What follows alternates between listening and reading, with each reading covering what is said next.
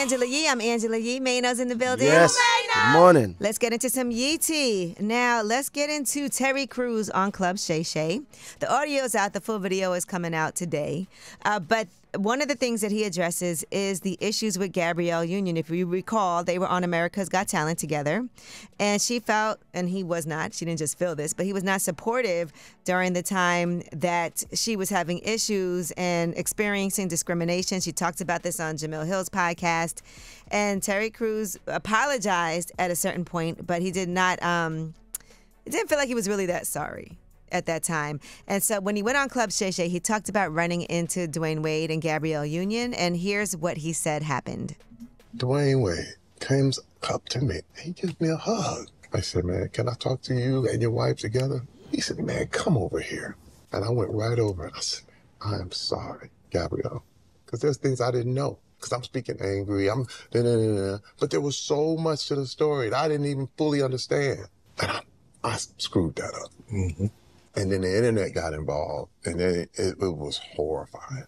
I mean, he apologized on social media because Gabrielle Union talked about how he was very unsupportive and there was no solidarity. He even went on social media and said, There's only one woman on earth I have to please. Her name is Rebecca, not my mother, my sister, my daughters, mm. or co workers. I will let their husbands, boyfriends, partners take care of them.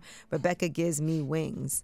And so I guess he felt like, I'm not in it you know, at, right, the time. at the time. Then he apologized on social media. Then he told people that he apologized three times publicly, and if a fourth is needed, I will continue to apologize and push for reconciliation. Here's what else he had to say uh, while he was on Club Shay Shay. I apologized to her face again. I said, Gabby, please, please accept this apology. And dude, she did.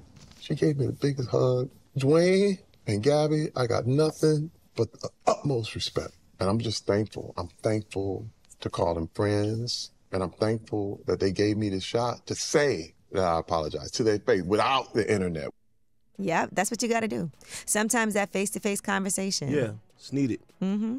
And a lot of times, you know, things could happen and you could have been wrong at that time. There's nothing bad about saying, I was wrong. I'm right. sorry. I mean, that's what we're human. Adult people say.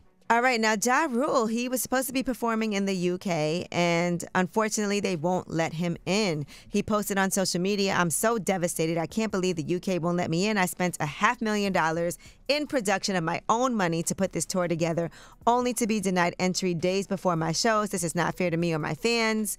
These venues are 85% sold, and now I can't come. And he did say the UK is one of the few European countries that restricts entry to people with criminal records.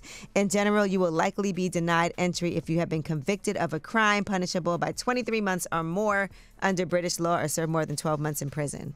Wow. Did you know that? I, I didn't know that because I I've been to the UK. Right. Yeah. I wonder if it's different if you have to get like a work visa or. Right. I know just... Canada is rough on that. Yeah. Yes. Canada is rough. We've heard people stories I of people being turned away. so much to get into Canada. Well, of course, you know when something like that happens, Fifty Cent is going to weigh in. Right. So Fifty Cent went on social media and. Um, you know, he said, I had nothing to do with this B not getting in, LOL. And then Ja Rule uh, responded and said, N word, you vagina, uh, uh, shut up. And yeah, so I guess they're just gonna go at it for the rest forever, of their lives, forever. right? Every like, now and then. It's not goodness, every day, but every now and then, 95 years old. Yeah. Still going at it. All right, well, that is your Yee tea. And when we come back, we have About Last Night. Now, I had a long night, and you know, today is day three of my fast, so I still haven't had any uh, any The solid drops. food. Yes, I didn't even take my drops yet today. Come on, let me get those. So I got to make sure. I think I have some for you. So let, me let me find up. out where those are. But I'm in the midst of this detox, so it was hard for me to be last night out recording. I was doing lip service last night. Mm. Right, I And you know. know what that environment is like. And then everybody ran out the room to eat. I was just sitting there. But we'll talk about it and we'll find out what you did last night. In the meantime, here is Chris Brown, Busta Rhymes, Lil Wayne. Look at me now.